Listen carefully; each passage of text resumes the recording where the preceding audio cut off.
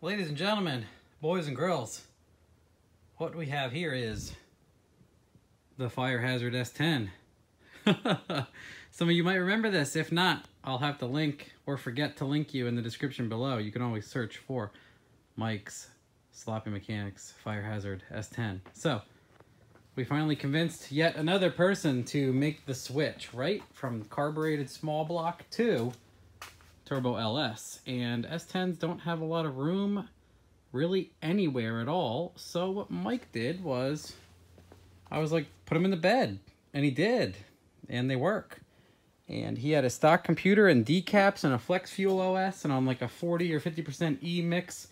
We were totally out of injector at 602 to the tire. And uh, as time progressed here, Mike had it and didn't get to race it, had a kid, did a lot of other crazy things going on, but the car was always running and driving.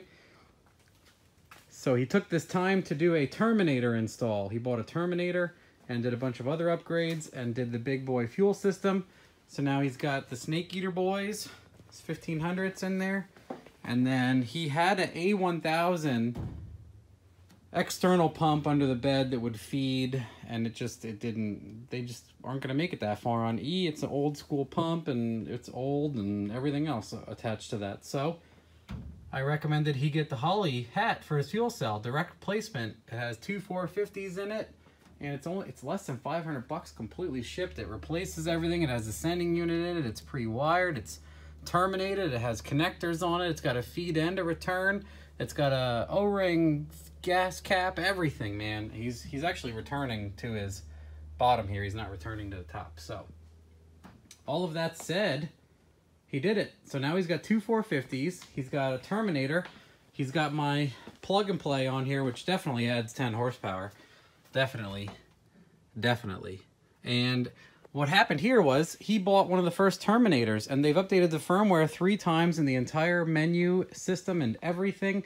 It has a much better wizard and more things to choose and making everything easier. So what we would like to show you here today is how to update the wizard and the SD card.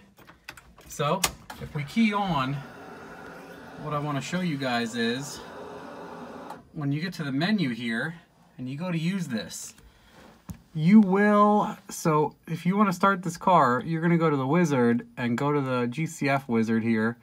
You're to go next, eight cylinders, firing order, cubic inches. Uh, we'll just keep going, spamming through. And it's to want us to choose some things. And we're to get not very many choices for an injector. And not very many choices for... Oh, I skipped out on a few things here. So we'll try to scratch that. We'll go through the wizard here. And we'll choose eight cylinders. And we'll just keep going. And we'll pick this guy. 24 tooth and we'll say others and uh, there's only a few FICs in here. We'll choose those and then if you choose turbo you get a map sensor selection. Now the biggest snafu here is it only has a two and a half bar. This is the early early firmware and it doesn't have snake eaters in it and it only has a two and a half bar and very few people actually run the two and a half bar in my opinion. Uh, but this is the earliest firmware and I think you can can you look at can you look at which firmware is on the device from here somehow? Either way, it's not terribly important. It's not too, too important to look at uh, ECU hardware firmware. Okay, firmware version 1.028. So that's what we're looking at. That's the big thing. ECU and handheld firmware are older. So before, if you're building a car like this, before you do anything and deal with that, what you should do is do yourself a favor and turn it off and take the dash out and you're going to remove the SD card in here. Right here, this little Jones. You're to pull the card out and you're going to put it in your computer. I'm to show you what to do with that. Okay, so let me tell you what. There is a couple months after the Terminator came out, they made a bunch of vast improvements with the menu, the amount of selectable items, the injectors, everything. There is a larger wizard, it's more comprehensive, and the firmware is also better. So if you're starting from scratch what you're what's going to happen is, is you're going to start at a deficit. You're going to have to work up to to do all of this anyway. And anything that you build, you might throw out and start over anyway. So it is much preferred, very beneficial to you to just go ahead and do this. And it you'll be surprised how easy it is. And then the wizard and everything is more capable. Everything's just it's newer, it's better. Everything has been figured out. Blah blah blah. So you should be doing this. So the first thing we're gonna do is we'll just dive straight to what you need to do is just go to Holley Terminator X SD card update. And I even spelled it wrong because it should still be very easy to get to this. So right here, Holley Terminator X software, what you want, you don't have to touch your, you don't have to install software, you don't have to have the canvas cable, you don't have to do anything. There is this Jones right here and it says SD card contents. So on the card in the dash is the wizard that builds the tune files on the card in the dash is the firmware for the handheld unit itself and the ECU. The new contents holds all of the newer stuff that you would need to do all of this cool stuff and it's very easy. So we're going to download the new contents. We're to see what happens. Oh boy. We're downloading, downloading, open file. So here is the entire zip this is what's in the zip file. If you guys aren't familiar with zip files, I mean, you might struggle a little bit here. So you should look up on this or you can use the Windows utility. I'm to use this one. So here's the contents. This folder is like basically the firmware version. So you can extract this folder here. I'm just to dump it in like that. And then if you use the Windows one, you're to hit, where would we say, maybe uh, I have everything but the Windows one here in my accessories. But you would basically just get this folder. Just get the folder ready. So this is the root. So when you put your SD card in, you're to see the exact same thing. Uh, whether you have an SD card reader like this or something else or who else knows. So what you have here is your SD card with the Holley stuff on it and it has some other hidden folders and none of this stuff matters. This is the old Dash firmware and this is the old firmware that's on it right now.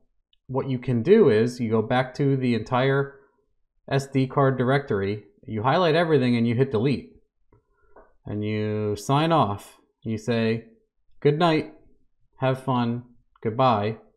So we, what we want to do is go back to downloads.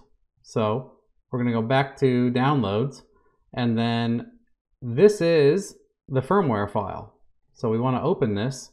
All of this stuff, this is the firmware for the dash. This is the firmware for the ECU and everything else. And here's all the original folders and the wizard and everything. So you want to grab this base stuff for all of everything. Just take the whole SD card contents. Your SD card's empty put everything on it. It's very simple. There's everything. All the new Spark tables, all the new wizards, all the new file support, all the new firmware already exists. So you didn't need any of that old stuff. It's not a problem if you delete it or lose it or whatever. You can buy another SD card and just put the Holley contents on it and you're starting fresh. So now that all this is done, what I have to tell you is important. This next step is when you put this card back into that dash and you turn the key on, the dash is going to automatically find new dash firmware and start flashing itself. So if you have some shoddy power connection and you're pushing it with a thumb, I'm not making fun of you. I do that stuff too. What you need to be weary about is if you are doing that and it does an automatic update and you slip and it bricks your handheld, you have lost your handheld technically. Maybe there's another way to get it back. Maybe you break it. Maybe it reflashes itself. Just uh, be ready for that. Have some solid power connections. Make sure this stuff isn't going to turn off. It doesn't take long, so just make sure it gets done right. It's going to make the rest of your day much easier. So, that being said, I think that was pretty easy. We replaced the contents of the card with the stuff off of Holley's site, which is the newest stuff. And what I'm going to do is I'm going to go back in the car. We're going to shove it in. We're going to turn it on, and you're going to see it automatically updates the dash. And then we're going to move on from there. So, updated SD card. Back in Mike's S10. So what we're to do is put the card boy back in here, like yonder. I'm to do this with one hand. Mm. Okay, so that's in. We're to put it back in its pedestal here. And we're to key on. Like I said, it's to do the dash update on its own. So that's what we should see, or else I look like a jerk, right? Hey, look, it says it found a file. And it's going to do an update right now. It's already at 60%. It happens pretty quick, so that's why I mean you got to be uh, not fiddling with your power here. You might brick your display. So now the display is updated and it says remove SD and reboot device. You don't have to remove the SD. So now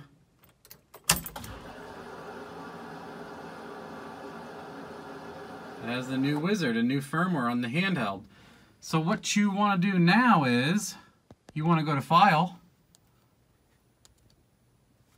and then uh, you might want to use the pen too because it's not designed to really use your finger. File, and then I'm going to go to hardware firmware and it might flash on its own because it doesn't have, it only has one firmware file.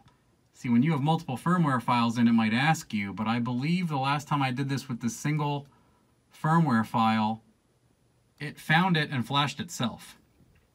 So we have 1.0.28. I'm gonna hit upgrade and it grabbed the file and automatically is flashing it.